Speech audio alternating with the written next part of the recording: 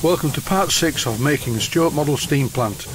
More parts arrived from the USA and I think that these are the last boxes of bits from which I will select the best parts to build the steam plant. The unpacking of the final box is on my kitchen table. This however is the penultimate box and I'm in the workshop. This is a piece of fire grate looking suspiciously like it came from Blackgates Engineering. And I think the tank is some sort of a condenser, I've never seen one like this before, Possibly it could be a PM research part. Although I only need one gas burner, the larger type, there are plenty of them, so I have some spares. Next out of the box is a spirit burner for a 504 boiler, closely followed by a couple of chimneys for a 504 boiler too. The whole idea of this is to pick the best parts out of what have been sent.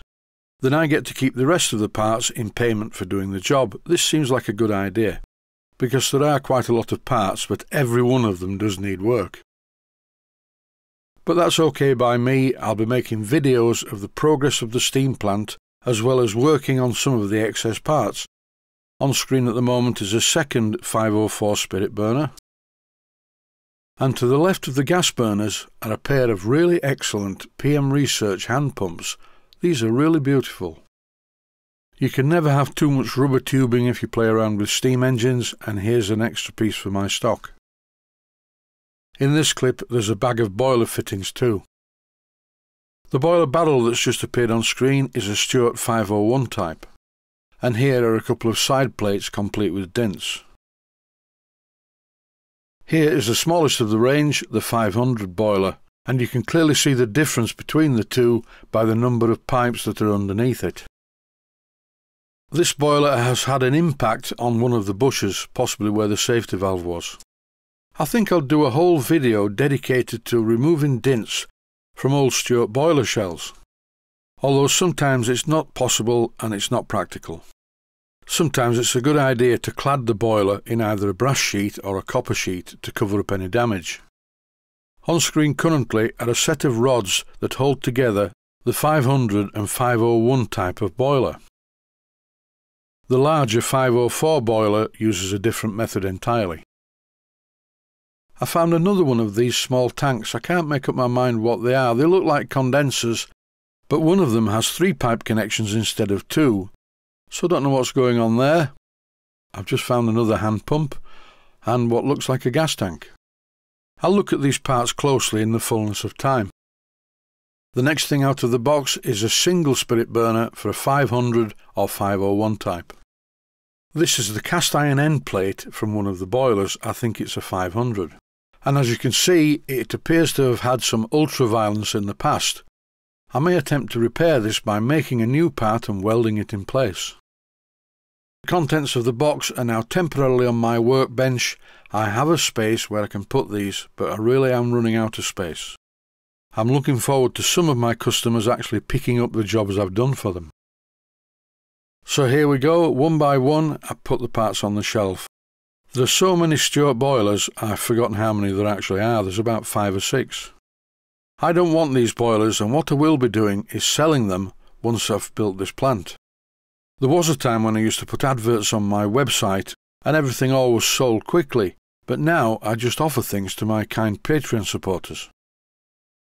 That's it, the parts are filed away, so it's down into the house to unpack the next box. There are quite a few electrical parts amongst this collection.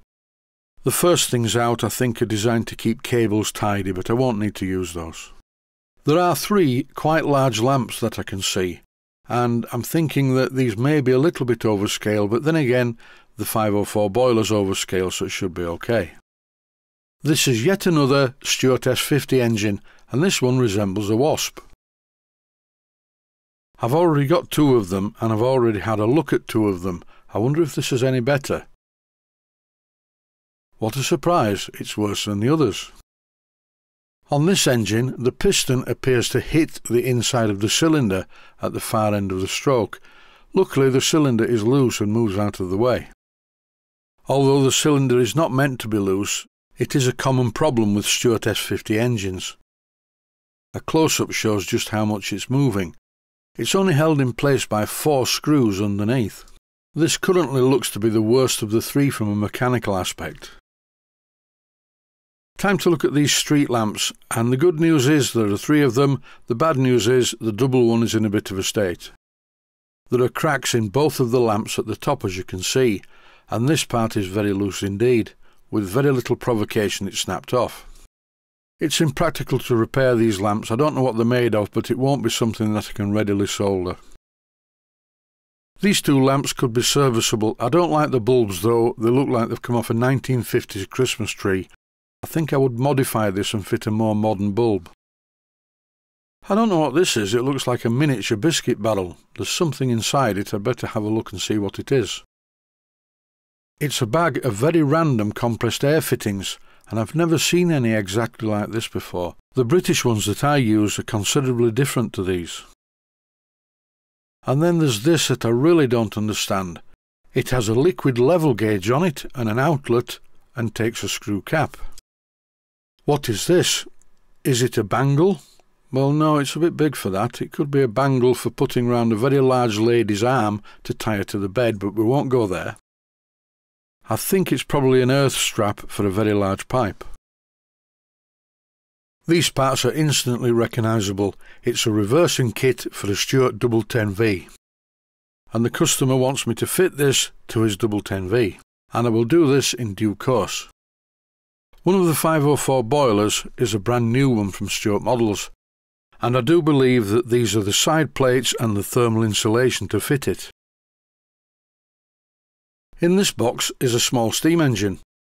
I think it's probably a finished self-assembly kit Although the castings could do with a bit of fettling, it's okay. When I look underneath I can clearly see PM Research made in USA. It's quite a small engine. When you put it against an S50, which is also quite a small engine, it is even smaller. This looks familiar. It's the newspaper wrapping by Matt at Blackgates Engineering. So this went from Blackgates over to America and it's now come back to me. A very well travelled piece of thick walled copper tubing. I assume the other piece probably also came from Blackgates. The customer asked me if I could make the steam plant with the boiler and engines mounted on a tiled floor, and here are the tiles, and I think they should look okay. There's quite a large sheet of very thin tiles. These are doll's house materials.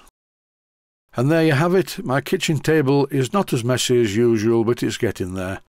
This is my bottle of wine and did not arrive in the package. And that's about it. Today I think I'll look at the S50 steam engine that resembles a wasp. But that's it for now. Stay healthy, thanks for watching, and I hope you found it useful. Please take the time to visit my Mainsteam Models website and click on the section of the website that says Video Playlists. And by doing that, you can find other videos that you may like to watch. And by using the playlists, you can actually watch the videos back to back.